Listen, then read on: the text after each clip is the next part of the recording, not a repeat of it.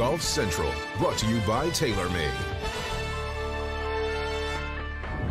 Located north of Minneapolis in the town of Blaine, Minnesota, lies TPC Twin Cities, a golf course now 20 years old, originally designed by Arnold Palmer in consultation with Minnesota native son Tom Lehman. TPC Twin Cities played host for many years to the 3M Championship on PGA Tour champions. Last year was year one of the 3M Open on the PGA Tour.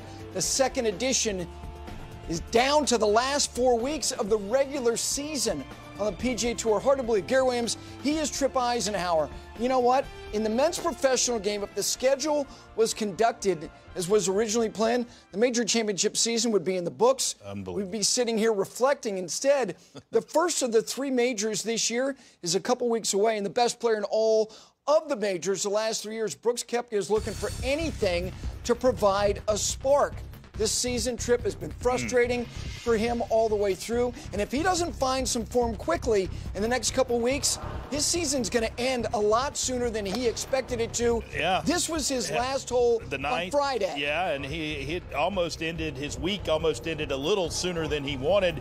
With that ball finding the penalty area, he had to sit around and wait, but he ended up shooting a final round 80 to tie for 62nd. And, and Tripp, one of the things that people have talked about trying to poke holes in his overall resume is the non-major performance. And he said I'm, I am certainly determined to change that. Well, so far this year, that's not been the case. The number of finishes outside the top 30, eight of his nine. The one time that was not the case was when he finished seventh alone at the RBC Heritage. Meanwhile, the fourth ranked player in the world, Dustin Johnson, a very two week performance chart, a win and then rounds of 80 80 and a missed cut.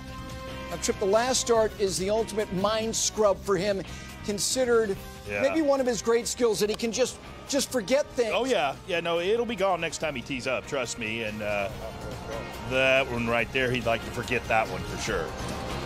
Wow, just And the yeah, week. Yeah, summed up his week. And if you look at his performance, the first 36 holes, total score 160, his worst. Total score in relation to par, tied for his worst. All of these things are, are certainly things you want to forget. Well, for more on the top two ranked players in the field this week and also in the world rankings as far as where they sit at four and six, for more, we send it to Steve Burkowski, who is at TPC Twin Cities. Gary at fourth in the world. Dustin Johnson is the highest ranked player in the field this week. He's teeing it up in the 3M Open for the very first time. Earlier today, he talked about this golf course as well as the struggles he had a week ago in Ohio. I've been around it once. I went nine holes on Sunday afternoon and nine holes yesterday. Uh, yeah, the golf course is it's, it's a great golf course. You know, I feel like it sets up well for me from from what I've seen.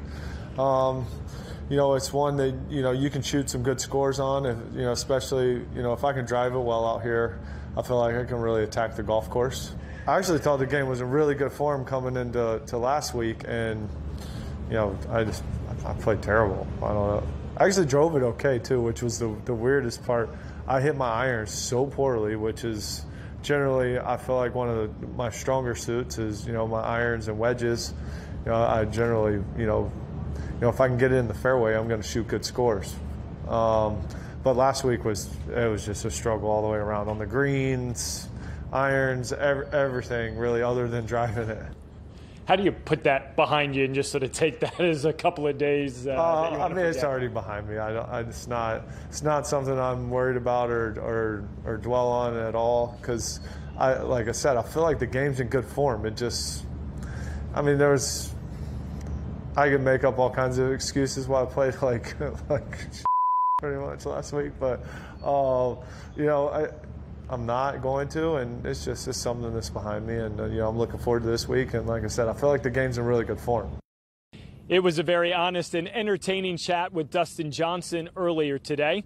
Brooks Koepka also here this week in Minnesota and starting this tournament 154th in the FedEx Cup standings. There is plenty of work to do for the four time major champion as he continues to deal with those nagging issues due to the tears in his patella tendon in his left knee. Yeah, it'd be nice to play well just for my own sanity. Uh, before, I mean, I felt like uh, you know, Sunday leaving that golf course, I felt about as lost as anybody. Um, just frustrated with how I've been been playing. Um, you know, not seeing the results. Um, it's it's irritating, but at the same time, uh, you just got to put in the work, put in the reps, and um, I mean, I know it's going to come back. It's only a matter of time. Um, you know, I'm not, I haven't hit the panic button yet, um, but it is frustrating. Any consideration uh, just taking the rest of the season off, rest, let the knee heal, and, and get back to a better spot? It, it, I'll be honest with you, it did cross my mind for a half second, and then uh, I think reality set in of um, I don't quit. I'm not going to quit. I think the only time I've ever pulled out of a tournament is for the fact of injury and, and couldn't actually do it anymore. Um, but I don't quit. Uh, I don't quit in the middle of rounds. I don't, you know, I try my butt off all day, every day. And, um, you know, it's, it'd be a cool story to win the FedEx Cup from here, I guess, wouldn't it? The goal for Brooks Koepka is to qualify for the playoffs, but if he doesn't, as he told me earlier today, there is a strong likelihood he would go for another round of stem cell treatment on that left knee, Gary, and that would be the day after his season would come to a close. Wow, that would be unfortunate mm-hmm. to say the least. We thought Tripp that, that that respite of having all that time would benefit him, uh, benefit him maybe as much as anybody, with the exception possibly of Tiger. When you've studied him, which you have extensively, whether it be data or just visibly, you know, and physically watching him, what is lagging?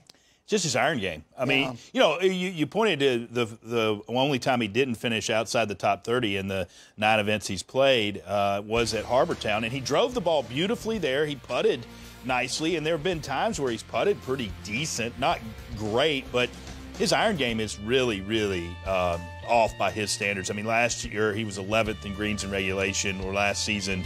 So far this season, he's 179. Mm. I mean, uh, this is a guy who's used to hitting about 70% of the greens, and he's just not doing it. And uh, the irons have got to get better. I, I, I, don't, I, you know, I've seen um, respites of time where some of the iron shots look good, but for the whole of a body of work of his iron game is just not there like we're used to seeing. Now, in fairness to Brooks, and, and we, we, we do kind of knock him in this, Gary, is – you know, okay, he's down for the rest of the events. He doesn't really seem to kind of, yeah. uh, they're not as important to him as majors. In fairness to him, we hadn't had a major yet this year. It's true. So, I mean, we'll know more in a couple of weeks, but I know that it's starting to, you know, maybe he's starting to push a little bit. I hope that's not the case. I hope he just, uh, you know, continues to understand that the irons will come around and keep doing what you're doing. But how much of it is the knee, I don't know at this point.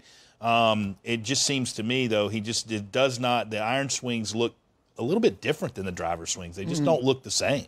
His proximity is is way down. Way down. And yeah. he's such a good putter. And, I, and he is. you can explain this better. When, when, your, when your iron game is not good, that puts even more stress. He's outside the top 100 in strokes gained putting. Yeah. He was fifth three seasons ago. I know. And, and that's the thing. You're right. But look, when you're not hackable putts for yes. birdie, you're not going to gain strokes on the greens, no matter how good a putter you are unless you're a Jason Day or a Jordan Spieth who were magnificent putters outside of 20 feet. That's not the case for Brooks. He's better closer in. So uh, the iron game has got to heat up, and this is a good week for it. Uh, a good week, good course for the irons to heat up on. All right, it is time now for Players on the Rise, presented by Hyundai. When you consider players leaving the college game and headed to the professional game, the Hit the gala is somebody who a lot of people think have all of the trappings. And it's not just because of what he did, he's got big game, but he did sweep all those great awards the Haskins Award, the Hogan Award, and the Jack Nicklaus Award.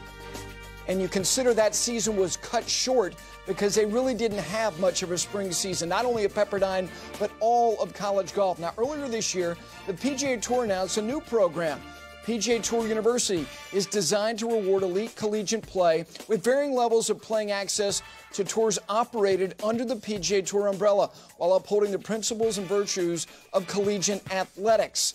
Now, the PGA Tour University program overview, when you take a look at it, it is NCAA Division I golfers who have completed at least four years of college or graduate level in three years. Now, the PGA Tour University ranking list will be finalized after each NCAA Division One men's golf championships. Now, the top five finishers on the list is going to receive Korn Ferry Tour membership. Now, number six to 15 is going to receive membership onto PGA Tour Latino America, the Mackenzie Tour, PGA Tour Canada, or PGA Tour Series China. Now, this ranking is 6 through 15. When you look at these players, these are the most accomplished players. And again, we're going to reveal uh, 1 through 5 tomorrow. And you look at 6 through 15, of course, you got to have a, have a trip on that. That is Tripp Kinney down there at 15. John Augenstein from Vanderbilt is going to go back for his fifth year. And oh, by the way, he's got a master's invitation that he is going to realize in the month of November. Now, while college golfers around the country await official word on the fall golf season, the Golf Coaches Association of America is providing playing opportunities for them regardless of what happens later this year. The GCAA Amateur Series is going to be an 11 event schedule of 54 hole events beginning in August. The tournaments will be open to men and women college golfers who were on rosters last season or will be this upcoming season. That is a great opportunity for these young men and women.